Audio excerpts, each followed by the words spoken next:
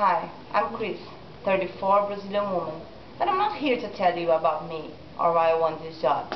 I'm here to tell you why you want me for this job. First of all, I gotta say that I'm just a tourist. Just like the other people you want to visit the island after me. I'm just like them, without practice, without skills, anything.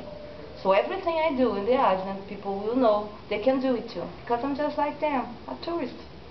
If I feed the fish, they will know they can do it too.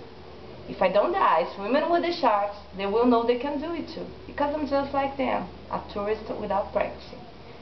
I think that the island is a special place on earth, so you need a special place to show the world all these beauties. I am this person. You just found what you were looking for, me. So, I see you on the island, meet you in Australia. Bye.